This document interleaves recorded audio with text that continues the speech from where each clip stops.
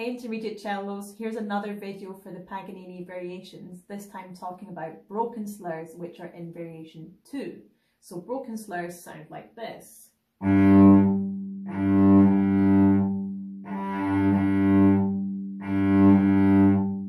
what we're doing is we're stopping the sound with the bow and then continuing the same movement using that second finger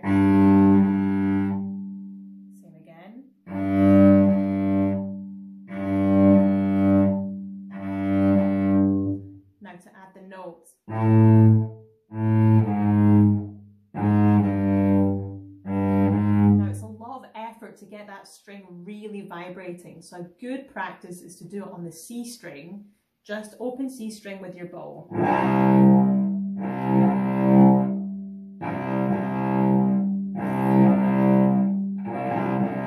And don't worry if you make that crunchy sound, that's you're on the right track. You need to use your second finger to really get that sound moving.